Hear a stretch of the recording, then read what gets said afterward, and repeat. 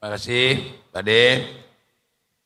Jadi pertanyaan saya ringan-ringan saja. Bagaimana untuk mengatasi kemiskinan di Karangasem? Sampai sekarang juga masih banyak masyarakat kita yang mempunyai rumah yang tidak layak dipakai itu ribuan. Satu. Kedua, bagaimana supaya bisa adik-adik kita yang eh, apa namanya yang main-main gitar yang kecil-kecil itu eh, yang saya sedih mengatakan yang minta-minta uang di jalanan itu bagaimana supaya kita uh, tuntaskan itu dari zaman reformasi sampai sekarang belum bisa. Ya itu saja Pak De. Mudah-mudahan kita bisa untuk menyelesaikan itu. Terima kasih Pak De. Masih ada waktu mau ditambahkan pertanyaannya? Paslon satu? Cukup paslon satu? Baik, waktu kita hentikan. Dan kami persilakan pasangan calon nomor urut 2 untuk menjawab. Waktu menjawab 1 menit 30 detik dimulai saat berbicara. Kami persilakan. Terima kasih. Yang pertama kita harus menggali potensi-potensi yang ada di Karangasem. Potensi pertaniannya cukup tinggi. Potensi pariwisatanya cukup tinggi.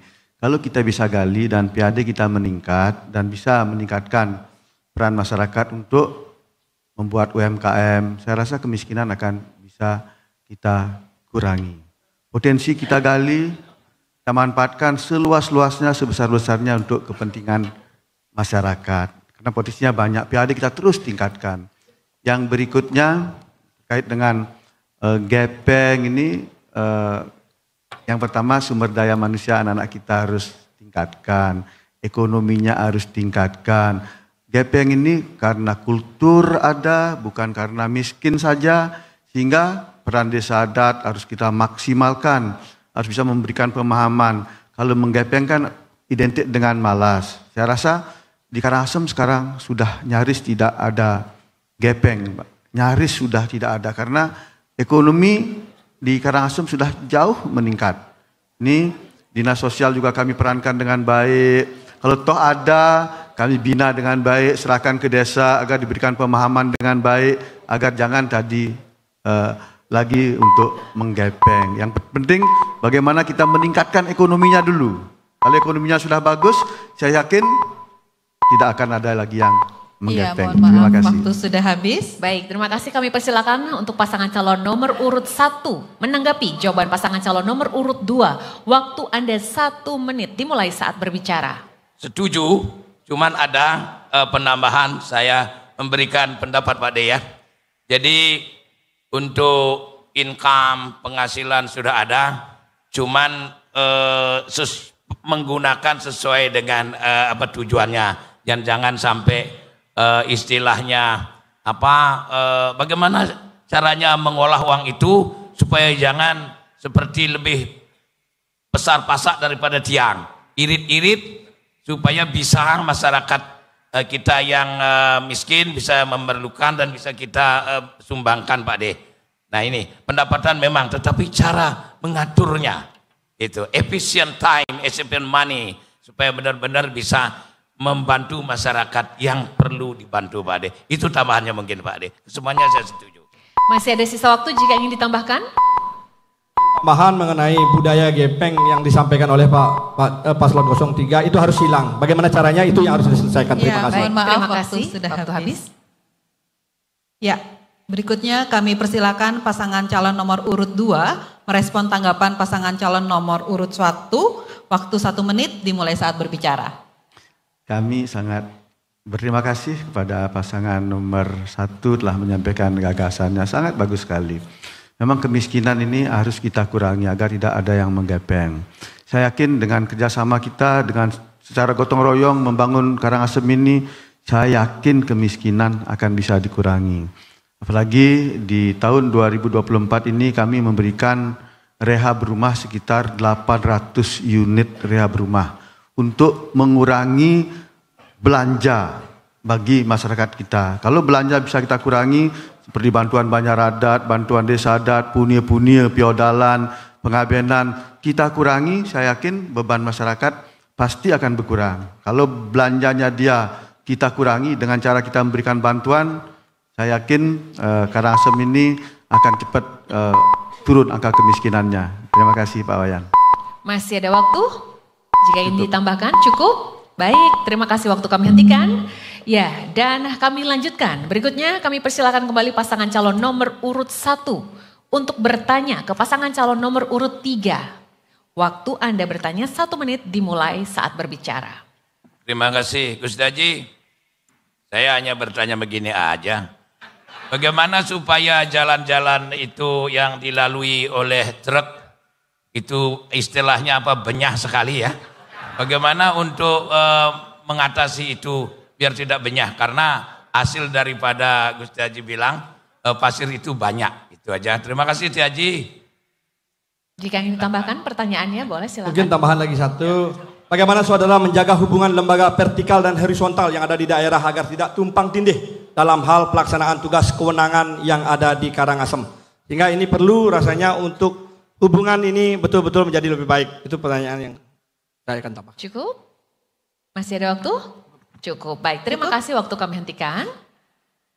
Iya, kami persilakan pasangan calon nomor urut 3 untuk menjawab. Waktu menjawab 1 menit 30 detik dimulai saat berbicara. Kami persilahkan. Terima kasih. Bagaimana caranya untuk memperbaiki jalan-jalan yang rusak yang dilalui oleh kalian C? Yang pertama, kita harus connect ke APBN, minta bantuan kepada pemerintah pusat untuk ikut memperbaiki dengan usulan kita. Yang kedua, kita harus menaikkan PAD kita, terutama galian C, masuk juga pariwisata. Karena galian C itu kita harus memungut dengan cara digital dan muatannya itu harus dikurangi. Makanya pada itu jalan-jalan yang ada ada di Karangasem cepat rusak.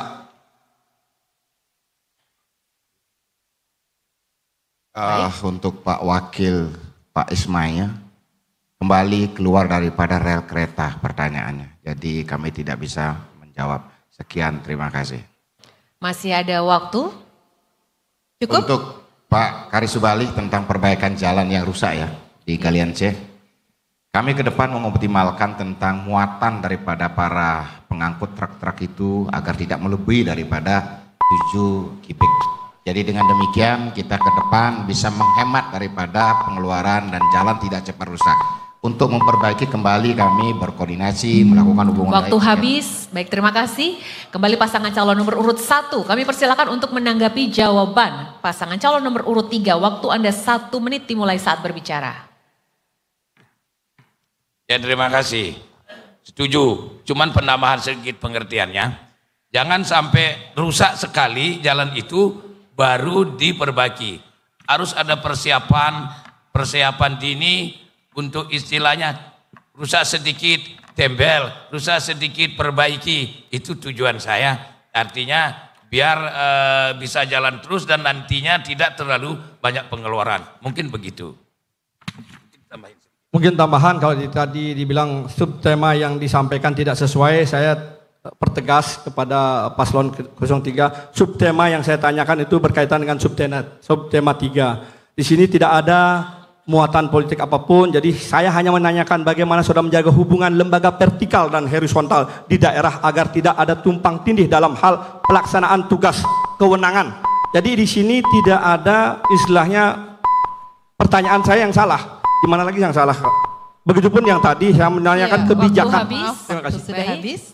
Kami persilakan pasangan calon nomor urut 3 merespon tanggapan pasangan calon nomor urut 1. Waktu satu menit dimulai saat berbicara. Kami persilakan. Uh, terima kasih Pak Karisubali. Kami ke depan memang sepakat untuk tidak membiarkan jalan rusak itu terlalu lama. Dan kami akan eh, lakukan ketika terjadi jalan rusak Galian C terutama kita akan mengajak para pelaku Galian C, penggiat Galian C, penambang Galian C untuk bersama-sama memperhatikan jalan rusak, bersama-sama memperbaiki karena keterbatasan dari anggaran di APBD Kabupaten Karangasem kembali kami ke depan lakukan komunikasi intensif dengan pihak pusat. Di bawah Presiden Prabowo Subianto untuk mencantumkan persoalan jalan rusak di Kabupaten Karangasem menjadi keputusan Presiden salah satu Kabupaten Karangasem masuk bagian dari eh, penerima jalan-jalan rusak untuk dibiayai oleh pemerintah pusat. Terkait persoalan vertikal dan horizontal, kami tetap karena persoalan di sini adalah persoalan yang menyangkut uh, hubungan uh, tidak ada yang berhubungan vertikal. Makanya kami waktu habis terima kasih untuk responnya. Ya baik terima kasih. Selanjutnya kami persilahkan kepada pasangan calon nomor urut 2 untuk bertanya kepada pasangan calon nomor urut 1 waktu satu menit dimulai saat berbicara terima kasih pasangan nomor satu senior saya. Saya juga tidak bertanya yang sulit-sulit dan tidak keluar dari tema. Saya ingin menanyakan, tadi juga sempat dijelaskan, tinggal memperdalam saja, bagaimana menyiapkan agar generasi milenial dan Gen Z kita betul-betul mendapat pendidikan yang baik agar sumber daya manusianya terus meningkat karena generasi muda, generasi milenial, Gen Z ini adalah pewaris kita yang akan meneruskan pembangunan kita. Ini harus dibekali dengan pendidikan yang memadai, kompetensi yang cukup. Mohon untuk dijelaskan bagaimana caranya, bagaimana menyiapkan agar generasi muda kita, generasi milenial dan Gen Z ini mendapat pendidikan yang memadai. Terima kasih. Baik, Terima kasih, waktu habis. Ya. Kami persilakan pasangan calon nomor urut satu untuk menjawab. Waktu satu menit 30 detik dimulai dari berbicara. Siap. Simbolis saya, Karang Asam, saya akan berevolusi dan berjihad. Artinya, berjihad di bidang mana? Di bidang apa? Apa yang masih kurang? Apa yang belum ada? itu saya tambahin yang belum ada, yang diperlukan oleh rakyat, itu yang saya bikin. Jadi untuk menangani itu Pak De, uh, pertama kesehatan dulu. Uh, sesudah masyarakat bisa sehat, terutama apa namanya stunting ya, itu itu terutama kesehatan ya. Kesehatan kalau sudah sehat, benar-benar sehat, baru nanti berbicara pendidikan. Sangat penting pendidikan ini untuk mempunyai generasi yang benar-benar pinter. Kalau sudah pinter generasinya gimana? Pasti kita maju pada bidang pertanian, pariwisata, eh, perikanan, dan segalanya. Maka dari itu sekali lagi, simbolis saya, Karangasem, saya berevolusi dan berjihad untuk masyarakat maju ke depan. Yang generasi yang sekarang belum benar-benar pintar ke depan pastikan pintar, Karangasem pasti maju. Terima kasih bagi saya. Tambahannya bagi saya adalah memberikan reward. Memanggil pemuda-pemuda Karangasem generasi Gen untuk memberikan tempat, Gen ini memberikan tempat sehingga ada wadah bagi mereka untuk menyampaikan menyalurkan aspirasi yang ditanggung oleh pemerintah. Terima kasih. Waktu sudah habis. Baik, terima kasih. Kami berikan kesempatan kembali kepada pasangan calon nomor urut 2 untuk menanggapi jawaban pasangan calon nomor urut 1. Waktu satu menit dimulai saat berbicara. Eh, terima kasih pasangan nomor urut 1 senior saya. Gagasannya sangat bagus dan kami juga sepakat apa yang disampaikan oleh pasangan nomor satu, tapi kami akan menyiapkan infrastruktur dulu, pendidikannya dari awal, sekolahnya harus kita siapkan. Dari TK, SD, SMP, SMA harus kita bangun dengan baik, sarana prasarannya harus kita bangun juga dengan baik. Kemudian kita harus siapkan teknologinya yang baik, digitalisasi yang baik, karena perkembangan zaman sekarang sudah jauh meningkat. Sehingga saya bangun SMP 6 di Pos Santen, kemudian bangun SMA di Abang, bangun SMK di Kubu, ke depan kami akan bangun SMK lagi di Pempatan, Kecamatan Rendang, serta perguruan tingginya terus kami buka jurusan-jurusan yang baru yang meningkatkan sumber daya manusia anak muda. Terima kasih. Iya, terima kasih. Kami persilakan pasangan calon nomor urut 1 untuk merespon tanggapan pasangan calon nomor urut 2. Waktu satu menit dimulai dari berbicara, kami persilakan. Terima kasih sudah nyambung sekali, apalagi saya bilang, cocok banget. Apalagi saya jadi bupati lebih bisa jalan lagi. Sekalian untuk Bapak Made dan uh, Pak Ek, uh, Ratu Haji, mudah-mudahan saya bisa jadi bupati. Kalau tidak bisa, saya titipkan masyarakat saya ya. Supaya jalan-jalan, janji-janji benar. Ya, janji apa yang dijanjikan benar-benar direalisasikan ya. Mudah-mudahan saya lebih bisa, tidak perlu Bapak lagi. Kalau tidak bisa saya, saya titipkan kepada Bapak-Bapak keduanya ini. Makasih. Masih ada waktu, silakan jika ingin ditambahkan.